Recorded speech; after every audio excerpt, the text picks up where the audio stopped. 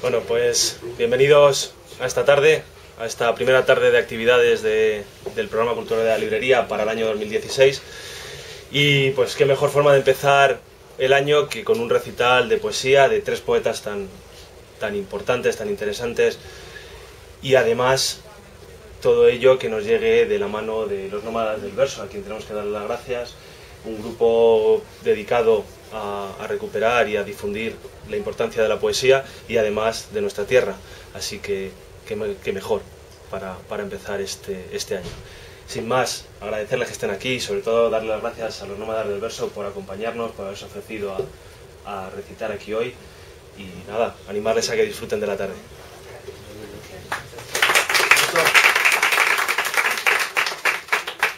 Muchas gracias. Eh, las gracias se las dan los nómadas del verso a todos ustedes. Es lo primero, agradecer. Y después de agradecer al público su asistencia, agradecemos que nos hayan cedido este lugar para recitar. ¿Qué otro mejor? Estoy seguro de que todos los nómadas del verso nos sentimos como en casa, nosotros tenemos el taller de poesía en la Biblioteca Municipal de Tres Casas. Y en la biblioteca les aseguro que también hay unos cuantos libros. Es como estar en un ensayo mismamente. Y bien, pasamos a presentar el recital, como ya han oído, y es verdad, son tres poetas muy importantes, muy importantes, Pedro Salinas, Ruiz Rosales, Rafael de León, han escrito mucho todos ellos. Y el recital que vamos a presentarles mm, está un poco agarrado con el señuelo del amor. Casi todo lo que se va a oír aquí, todo lo que recitemos, está referido al amor. De forma que si hay algún alérgico entre el público, No creo. ¿Cómo me gusta eso? Pues bien, todos estos poemas van a estar hilados con ese hilo, el hilo del amor. El lenguaje que se va a oír es absolutamente poético. Puede que haya poemas en los que alguien diga, caramba, aquí no hay rima, pero también dirá, pero qué bien suena. Puede que en alguno de ellos el metro no esté, digamos, muy cuidado, pero pasará lo mismo, dirán, pero lo que se está diciendo, las ideas y el lenguaje, puedo asegurar de que van a ser absolutamente poéticos, van a disfrutar. Y pasamos a hablar un poco de Pedro Salinas. Pedro Salinas tuvo una vida muy, muy agitada, y no solamente en lo profesional. En lo profesional fue lector en la Sorbona, catedrático en la Uni- Universidad de Sevilla, lector en Cambridge, enseñó en la Escuela Central de Idiomas en Madrid y ya en el exilio, acabada la Guerra Civil Española, enseñó en la Universidad de Baltimore y en Puerto Rico. Se movió. Su vida privada también fue muy, muy movida, tan movida que estuvo al borde del divorcio. Devaneos. La poesía de Pedro Salinas es vehemente y apasionada, como fue su vida. Según aseguró en una ocasión, él estimaba en la poesía sobre todo la autenticidad y después la belleza. Vamos a buscar y a encontrar esas dos cosas en sus poemas. Aquí llega el primero. El primero que empieza pues, con un beso, como tiene que ser algo referido a lo amoroso. Ayer te besé en los labios.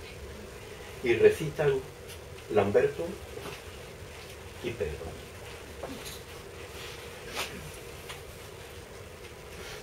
Ayer te besé los labios. Te besé los labios.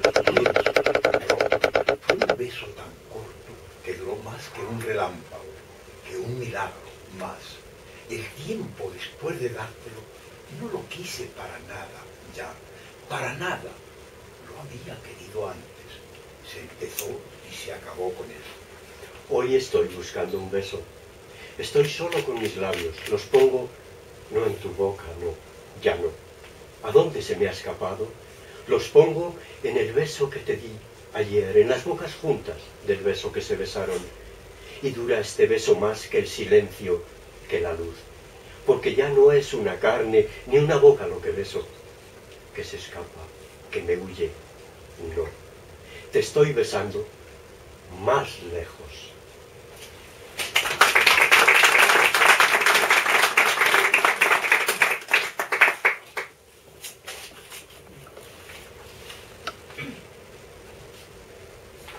Pasamos al segundo poema, también de Salinas. Ahora nos habla de la libertad dentro del amor y empieza diciendo, dame tu libertad, pero que nadie se asuste. No está pidiendo la libertad de la persona amada, acaba diciendo al final, la quiero para soltarla. Aquí recitan Asu, Rosa María, Miguel Ángel y Pedro.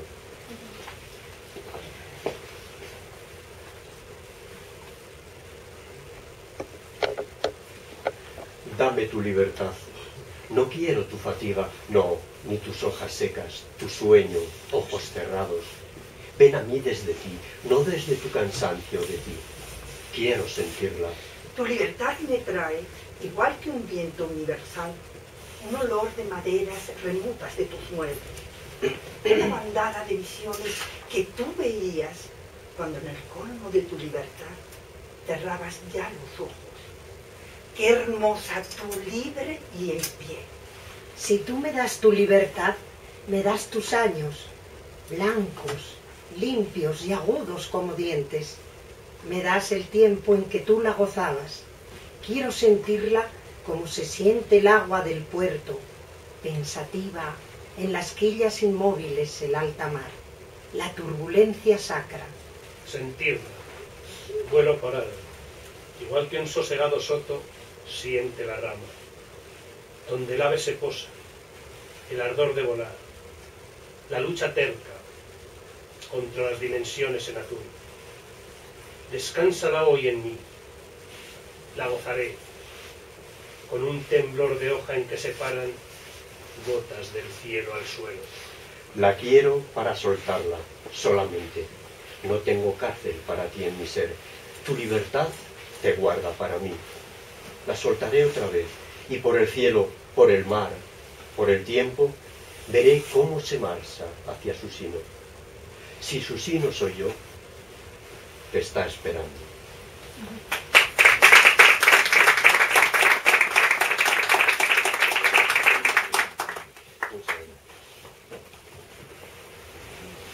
¿Cuánto sabe la flor? Otro poema de Salinas.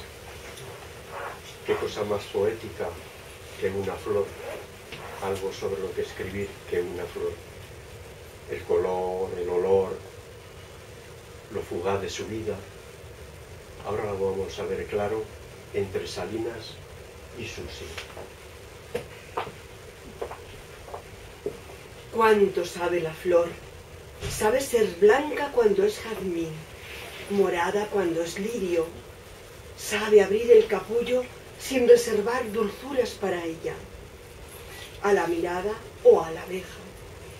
Permite sonriendo que con su alma se haga miel.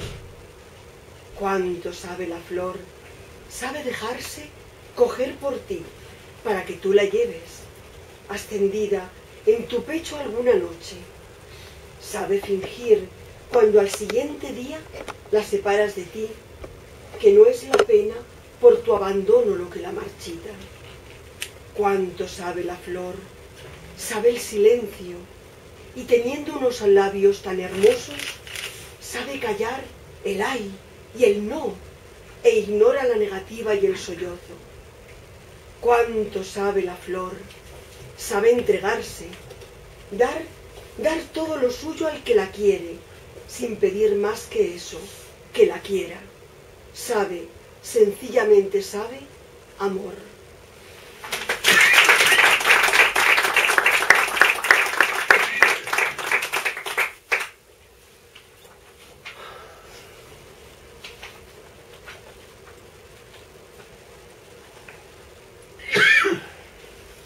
El poeta se nos pone ahora muy, muy romántico, hay algo más tierno que llegue más al alma que estar contemplando a la persona que uno ama dormida. ¿Qué tal tener los dos el mismo sueño? Y ahora recitan Miguel Ángel, Rosa María, Susi y Lambert.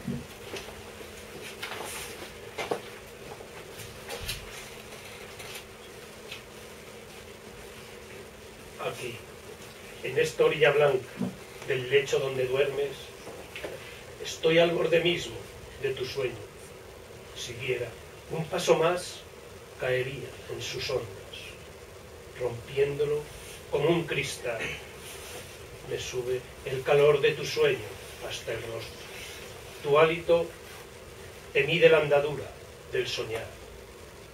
Va despacio. Un soplo alterno, leve, me entrega ese tesoro exactamente, el ritmo de tu vivir soñando. Miro, veo la estrofa de que está hecho tu sueño. La tienes sobre el cuerpo como coraza ingrávida, te cerca de respeto. A tu virgen te vuelves toda entera, desnuda, cuando te vas al sueño. En la orilla se paran las ansias y los besos. Esperan, ya sin prisa, a que abriendo los ojos renuncies a tu ser invulnerable. Busco tu sueño, con mi alma doblada sobre ti. Las miradas recorren traslúcida tu carne y apartan dulcemente las señas corporales, para ver si hallan detrás las formas de tu sueño. No las encuentran y entonces pienso en tu sueño. Quiero descifrarlo. Las cifras no sirven, no es secreto, es sueño y no misterio. Y de pronto, en el alto silencio de la noche, un soñar mío empieza al borde de tu cuerpo. En él, el tuyo siento. Tú dormida, yo en vela. Hacíamos lo mismo. No había que buscar. Tu sueño era mi sueño.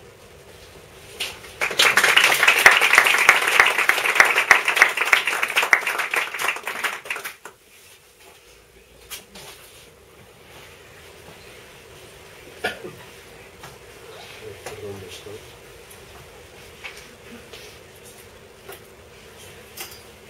Ahora vamos a disfrutar con un poema metáfora, quizás sea al revés. Compara al amante y la amada con el mar y el agua. O quizá tenga razón, o quizá no. Ustedes juzgarán después de oír esta tormenta de ideas. Recitan Asu, Lamberto y Rosa María.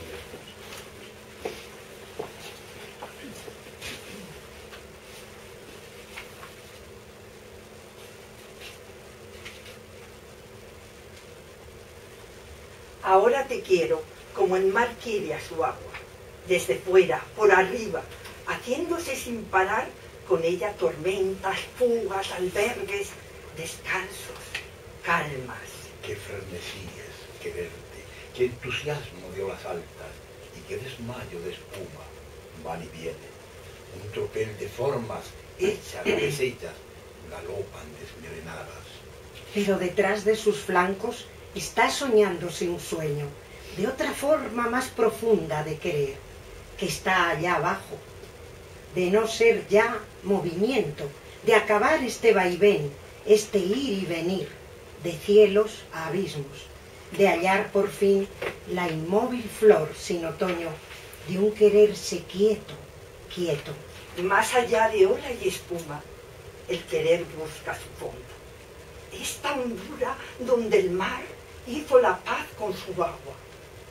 Y están queriéndose ya sin signo, sin movimiento. Amor, tan sepultado en su ser, tan entregado, tan quieto, que nuestro querer en vida se sintiese seguro de no acabar cuando terminen los besos, las miradas, las señales. Tan cierto de no morir como está el gran amor de los muertos.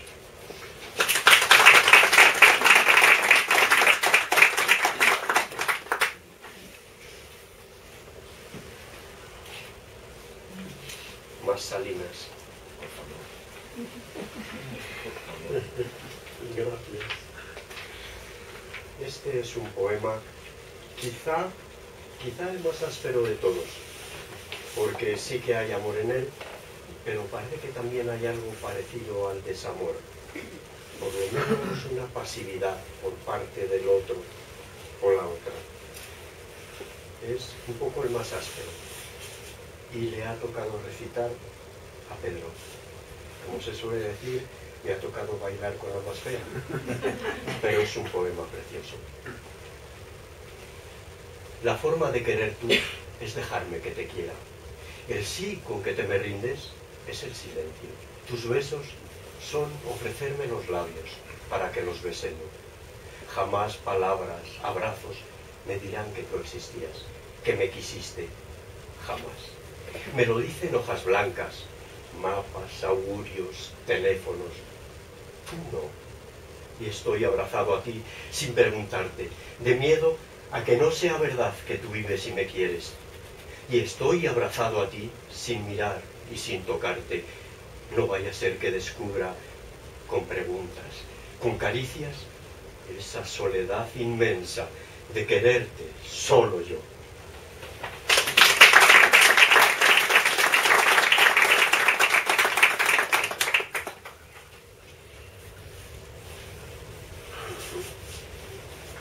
Aquí tenemos todavía las Salinas. Es el último, la, un- la última entrega de Salinas. Este es un poema en el que entre los dos que se uno le dice al otro, desde luego, como eres, una persona de rompe y rasga, lo que tú quieras. A eso se refiere este poema. Y recitan Miguel Ángel, Rosa María y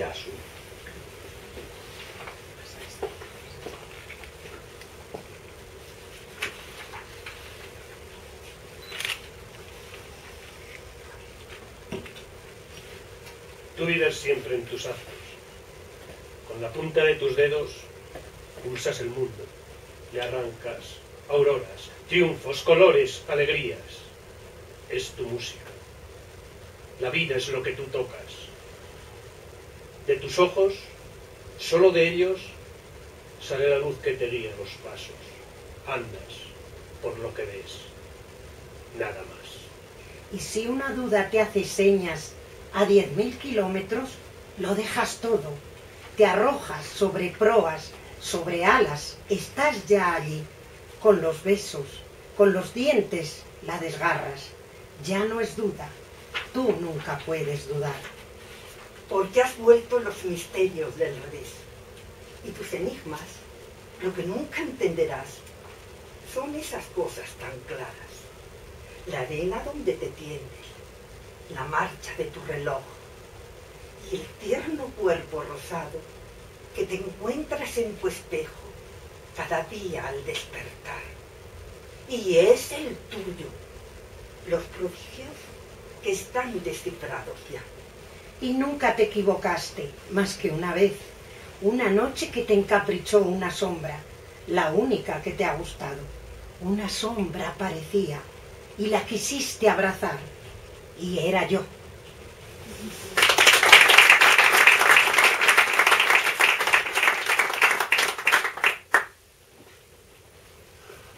Ya tenemos aquí a Rosales. Rosales, que nació en Granada en 1910, que vivió muchos años, afortunadamente, y es un poeta de la generación del 36. Poeta desde muy joven, vivió inmerso en la poesía desde muy joven. Eh, sus amigos normalmente eran poetas y además siempre buenos amigos y fue un hombre al que se suele retratar siempre como un hombre tranquilo, sosegado, un, hombre bueno, y lo fue realmente. Es un enamorado de la nostalgia. En su obra no hay desgarro ni desesperación, es muy, muy tranquilo de verdad. Iremos viéndolo en sus poemas. Ahora en este primero, que se titula Ayer vendrá. Es intimismo puro, es casi como ver un paisaje, pero directamente con el espíritu. Recita Miguel Ángel.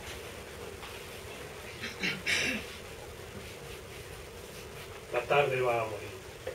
En los caminos se, se ciega triste o se detiene un aire, bajo y sin luz. Entre las ramas altas, portal, casi vibrante, quema el último sol. La tierra vuelve. Empieza a oler. Las aves van rompiendo un espejo con su vuelo. La sombra es el silencio de la tarde. He sentido llorar. No sé a quién lloras. Hay un humo distante, un tren que acaso vuelve mientras dices, soy tu propio dolor, déjame amarte.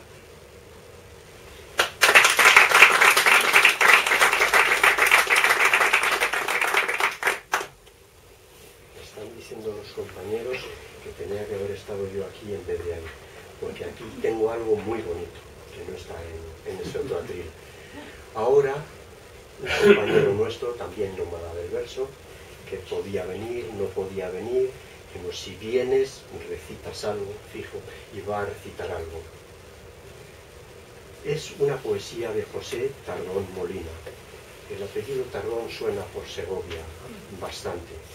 Fue médico entre los años 34 y 74 por Castilla, un poco más arriba de Segovia, Valladolid y Burgos, eh, por esas zonas, todos esos años. Eh, la poesía se titula Cuerda fe, loca esperanza. Es del médico, padre de una compañera nuestra, de Rosa María, padre de ella. Y va a recitarlo, pues, un nómada del verso que va a traer con él, se llama Lucio, trae 92 años de amor a la poesía. Recita Lucio.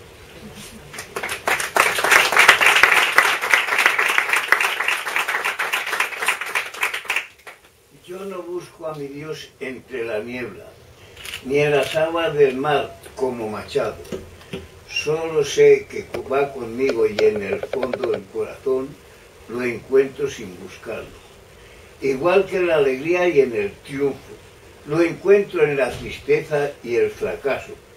Y en cuanto a divino hay en el hombre, bondad, música, verso, amor, trabajo. No alcanza la razón que tú me diste a demostrar tu ser y sin embargo el corazón me grita tu existencia, Dios moral, Dios kantiano. Por fueros de razón y de armonía, creo en un solo y pertinaz milagro, esta fuerza cordial que a ti me arrastra,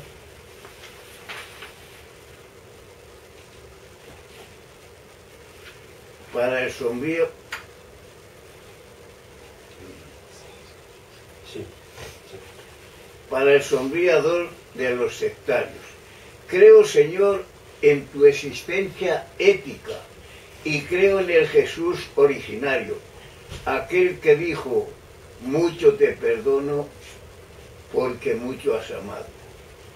El que amaba los niños y las fuentes, las aves y los lagos, el que habló en el sermón de la montaña, el joven Jesús de Mateo y Marcos. Yo quisiera, mi Dios, hablarte al menos como Juan de la Cruz, Francisco y Pablo, pues te llevo en el alma como ellos te llevaron. Mas, Señor, si tú vives en el centro de mi espíritu, ¿acaso puedes morir de todo cuando muera mi yo sensual, mi cuerpo innecesario? ¿Será esta muerte un fin irrevocable o será solo un tránsito? ¿Se extinguirá conmigo tu concepto como un fantasma en vano? Contra la fe más firme se levanta el terrible poder de lo enigmático. Contra toda razón, creo que un día veré con claridad tus ojos claros.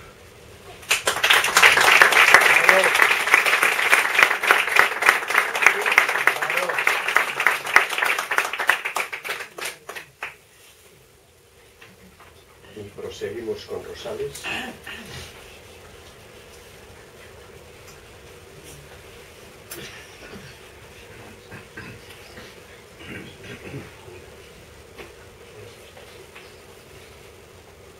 Rosales eligió unas palabras, como solía hacer en muchos de sus poemas, para encabezarlos. Y en este caso tomó estas palabras que dicen, en la noche final de la ausencia, el poeta piensa en la amada y la lluvia que los une. Es un retrato de un encuentro que va a haber ya inminentemente. Es de noche todavía, va a amanecer, está lloviendo y por fin los amantes van a encontrarse. Ahí es donde empezamos nosotros la tarea.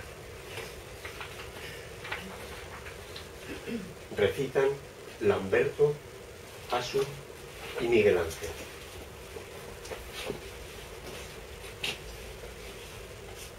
Nada tengo de ti, solo una lenta comunidad de sombra en la mirada.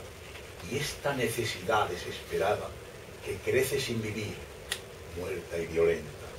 Dura la sombra hasta que viene el día y el sol entre los hombres se reparte. ¿Qué color tendrá el ojo al contemplarte si así lo enciende ya tu cercanía? Mis ojos que en el viento están impresos miran la noche y a crecer empieza este quieto empujón de la tristeza que gasta el andamiaje de mis huesos. El alba es la inocencia de la aurora. Cuando venga la luz, vendrá contigo. La lentitud del cielo es un castigo y una habilitación que siento ahora. Si el sol andando a pie viene en mi ayuda, aún le falta su luz a la mañana. No puedo verte y la memoria es vana. No puedo hablarte y la palabra es muda. La ausencia tiritante y aleada se acorta convirtiéndose en espera. Si ceniza de ayer es la ceguera, ceniza de esperar es la mirada. La noche, que es inútil como un ruego, va maniatando al mundo en su atadura y deja en el mirar la quemadura de ti, que me hace verte o me hace ciego. Para volverte a ver solo es preciso que el lucero del alba empiece el vuelo sobre la golondrina y en el cielo haya un lento deshielo circunciso. Tengo la sangre convertida en plomo y la esperanza convertida en fe. Vivir para mirar sin saber qué, mirar para temblar sin saber cómo. Si el cielo dice que la luz vendrá, el sol está esperando todavía. ¿Qué fuerza le da al hombre la alegría? Ando tu sombra que en el suelo está. Los ojos viven lo que están buscando y hablo en voz alta para estar contigo. Puedo decir, vendrá. Y si lo digo, mañana es solo una palabra andando. En la lluvia mis manos reconoces, tal vez nos está uniendo en, su- en sus extremos. Y en este mismo instante ya tenemos un solo corazón que habla a dos voces. No puedo más, no puedo más. La cita que hace girar el cielo ya no ceja. Y vienes con la luz como se deja una palabra en el papel escrita. El tiempo lañador y transitivo va dejando en el aire tu traslado. Ya nos empieza a unir y ya ha empezado la extraña gloria de sentirme vivo. La ausencia es una luz interrumpida. El cielo palidece y azulea. Y el sol que nos alumbra nos recrea. La espera terminó. Llega la vida.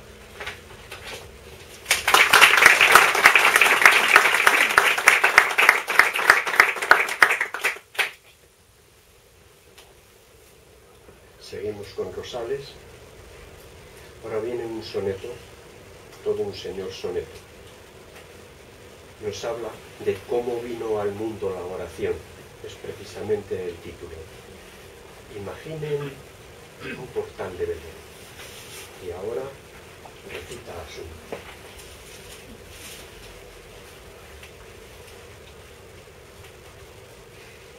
Delirio en oración de espuma herida por el paso del alba silenciosa, de carne sin pecado en la gozosa contemplación del niño sorprendida, de nieve que detiene su caída sobre la paja que al Señor desposa, de sangre en asunción junto a la rosa del virginal regazo desprendida, de mirar levantado hacia la altura como una fuente con el agua helada donde gozo encontró recogimiento, de manos que juntaron su hermosura para calmar en la extensión nevada su angustia al hombre y su abandono al viento.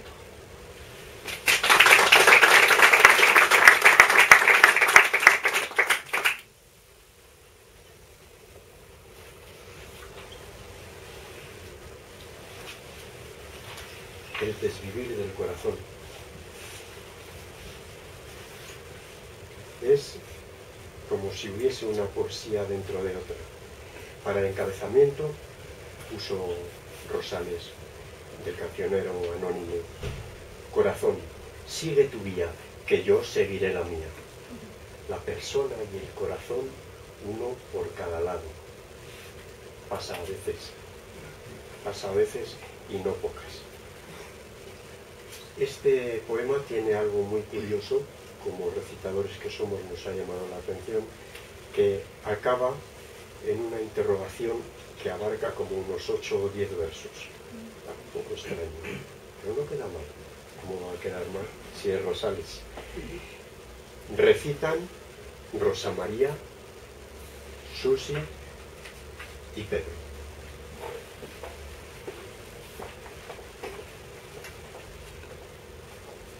Mi soledad termina en tu latido.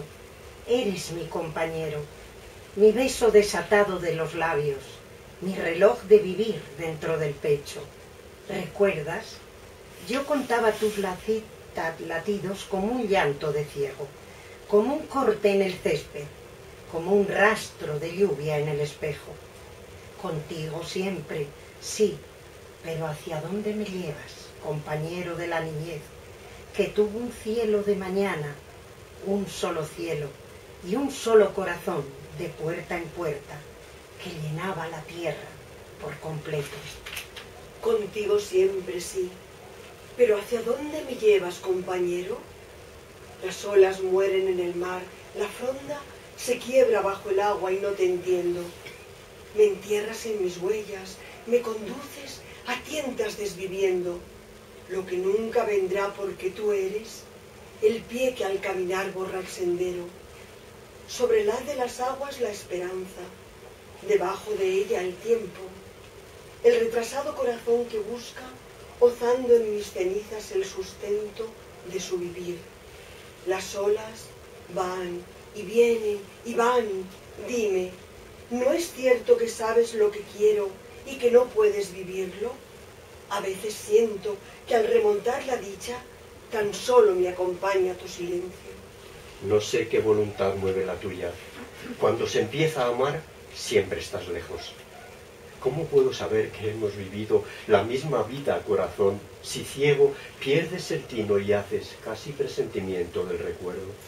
Y quiebras en mis ojos la mirada con un temblor interno, con un desprendimiento ávido y loco que me arrastra contigo sangre adentro, contigo y hacia ti que desvarías, confundiendo ola y mar, camino y viento.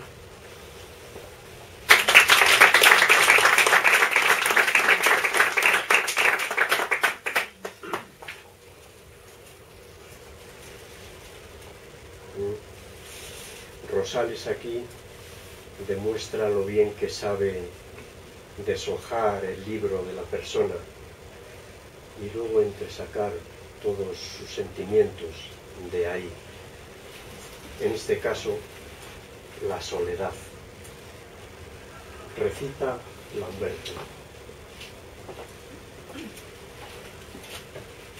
Tu soledad, abril, todo lo llena, colma de luz la espuma y la corriente. Aurora niña con tu sol reciente, toro en golpe de mar, como mi pena. La soledad del corazón resuena, desierta ya, como un reloj viviente, como un reloj que late porque siente la marcha de tu piel sobre la arena. Y así vas caminando sangre adentro, sangre hacia arriba, hacia el primer encuentro, sangre hacia ayer, en la memoria mía. Ay, corazón, ¿dónde me pisas tanto?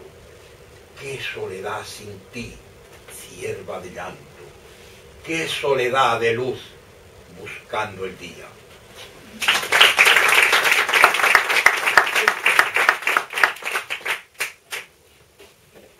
Yo me voy quedando sin mis apuntes. Tengo que hablar así sobre la marcha y prefiero hacerlo un poco con un guion. Tenemos ahora el, poema Inverte, que dice así al principio. La lámpara del cuerpo es el ojo, así que si tu ojo fuere sincero, todo tu cuerpo será luminoso. San Mateo 6, 22. Y no, esto no es una iglesia, aunque sí es una pequeña catedral del conocimiento, por lo que llego a ver desde aquí. Es un poema muy intimista y van a recitar Susi y Miguel Ángel, Susi y Miguel Ángel.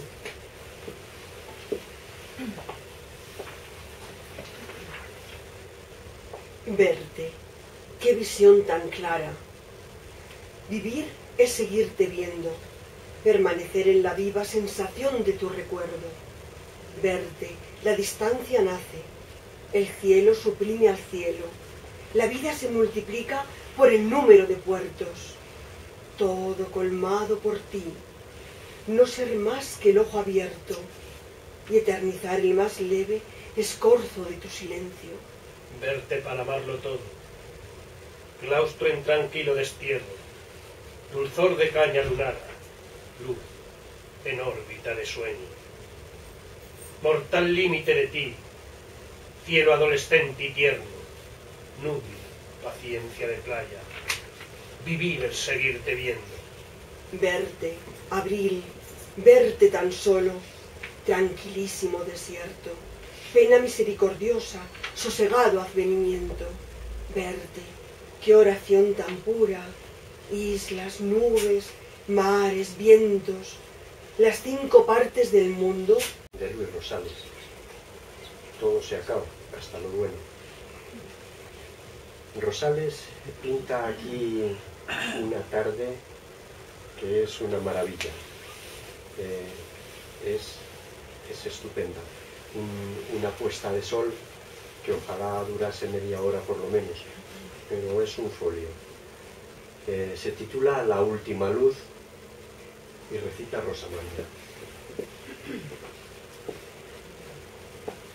Eres de cielo hacia la tarde, tienes ya dorada la luz en las pupilas, como un poco de nieve atardeciendo que sabe que atardece. Y yo querría cegar del corazón, cegar de verte, cayendo hacia ti misma, como la tarde cae, como la noche ciega la luz del bosque, en que camina de copa en copa, cada vez más alta, hasta la rama isleña sonreída por el último sol. Y sé que avanzas porque avanza la noche y que iluminas tres hojas solas en el bosque.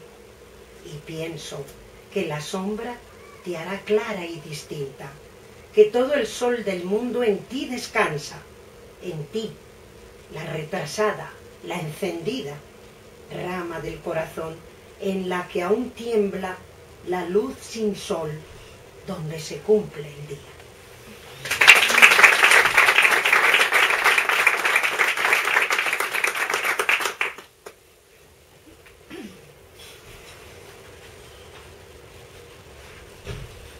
y saludamos a Rafael de León. Vamos a hablar un poquitín sobre él, como hemos hecho con sus dos compañeros de recital. Rafael de León nació conde y dos veces marqués, en Sevilla, en 1908, generación del 27. aunque hay veces que no aparece en la nómina, pero es donde se le escribe realmente. Por sus títulos nobiliarios estuvo en peligro en la Barcelona republicana, tiempos de la guerra, pero le salvó el tener buenos amigos entre los poetas de izquierda, los poetas rojos, por ejemplo León Felipe, Machado, García Lorca. Lo primero que salta a la vista cuando se ve la obra de Rafael de León es lo extensa que es. Entre canciones, poemas, ser el, el autor mismo o ser una colaboración, entre todo eso son más de 5.000 los títulos que tiene a su nombre. Yo no los he contado, eso está, está contado por otros y está escrito. Más de 5.000 obras, con autoría total o en parte de él. Es tremendo. Eh, eh, vamos a ver por dónde ando. Vamos a ofrecerles tres de sus poemas. El primero es amoroso, eso no es ninguna sorpresa. Habla de una pareja que se separó hace ya tiempo y en la que él, a pesar de todo, no se rinde. Se titula Hora y recitan Lamberto y Pedro.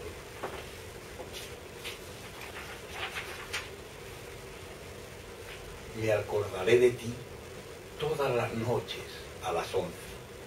En la plaza sin luna de tu ausencia pronunciaré tu nombre con el mismo temblor del primer día, todas las noches a las once. Y aunque esté en un café, en un teatro o en un duelo, sin que nadie me importe, te llamaré, subasta de mi pena, todas las noches a las once. Y si la gente, ¿qué importa la gente? No sabe, no comprende, no conoce lo que es el amor. Que aprenda de mis labios todas las noches a las once. Que cariño que no es nube ni melindre, sin sangre, canción, olvido y monte, se quiere así, gritándolo a los vientos, todas las noches a las once. Y un día llegará que Dios me oiga, que cuando vaya a pronunciar tu nombre, tú estés bajo la lluvia de mis besos a las diez, A las once y a las doce.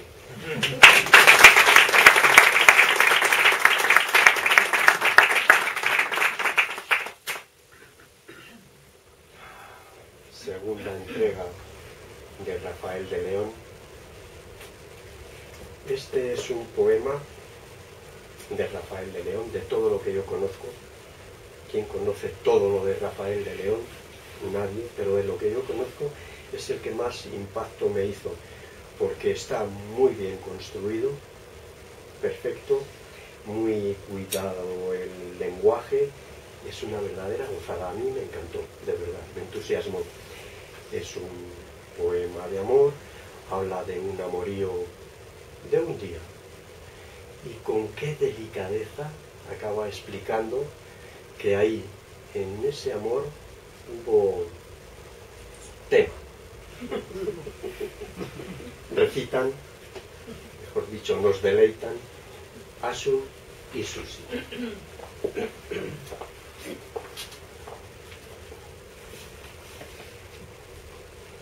Iba convaleciente de una herida de amor en el costado.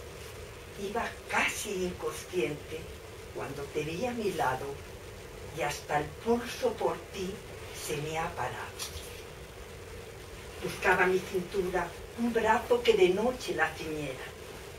Ansiaba con locura un labio que se uniera a mi boca, cansada por la espera. Buscaba un hombro amigo en donde reposar la madrugada y un tibio olor a trigo, una mano apretada y el divino calor de una mirada. Estaba tan vacía, tan harta de soñar y tan sin sueño, tan lejana y tan fría, tan libre y tan sin dueño, que tan solo morir era mi empeño. Y al verte, asombrada, me quedé contemplando al mediodía tu figura delgada, tu suave armonía y tu casi perfecta geometría. Alegres nos miramos en la tarde morada de violetas y después caminamos por plazas recoletas salpicadas de rejas y macetas. Ya de noche, temblando, perdida entre la niebla de tu viento, me bebí suspirando la menta de tu aliento en un beso apretado, dulce y lento. Que espesa la saliva, qué lejano el ruido de la calle. Y el labio, cómo iba mariposa en el valle de la espalda, buscando el fino talle. Se desbocó en mi frente el pulso como un perro malherido y paralelamente te sentí en un gemido doblarte en mi garganta sin ruido y después la almohada pesarosa del rizo y la postura y la sábana helada mortaja de blancura plisándose sin voz a mi cintura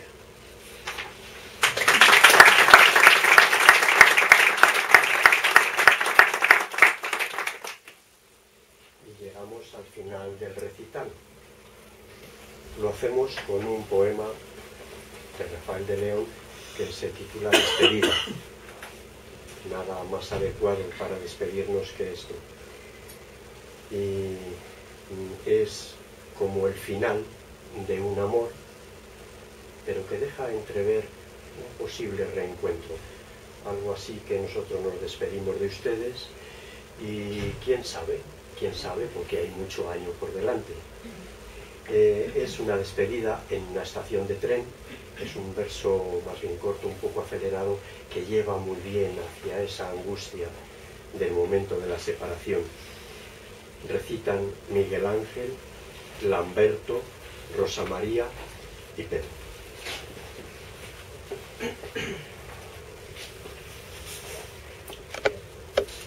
Se iba el tren y quedaba en el aire una mancha, no sé si negra o blanca, de tu brazo.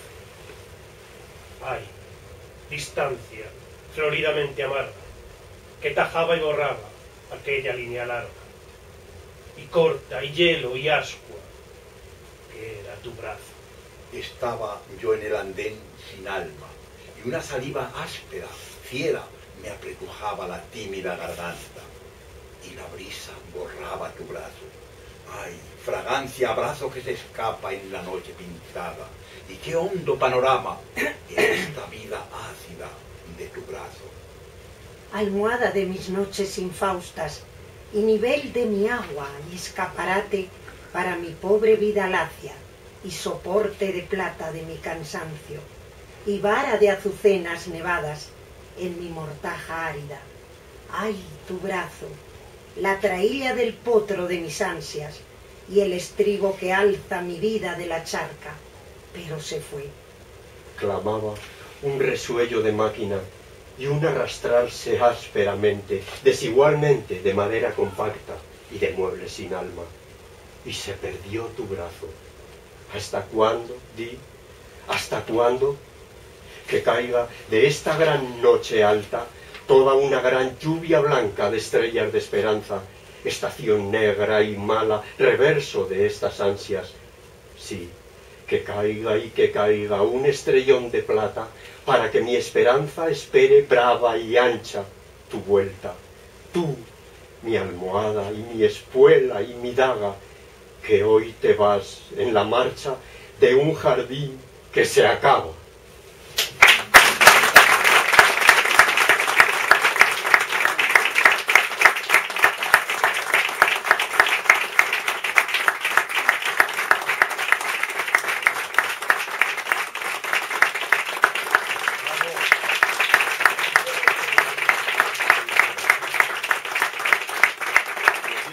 Este ha sido el recital. No todos los que estamos aquí somos mm, eh, el completo de, de los Entre público hay alguien que ha sido desde los comienzos el que ha hecho resurgir todo esto y algunos de aquí ya saben quién es. Y en fin, yo les saludo, los saludo desde aquí le doy las gracias por todo lo que ha hecho por la poesía allá en Tres Casas y sigue haciendo. Es nuestro jefe realmente, al que estamos muy agradecidos. Y para él, para Rafael Martín, pido otro aplauso.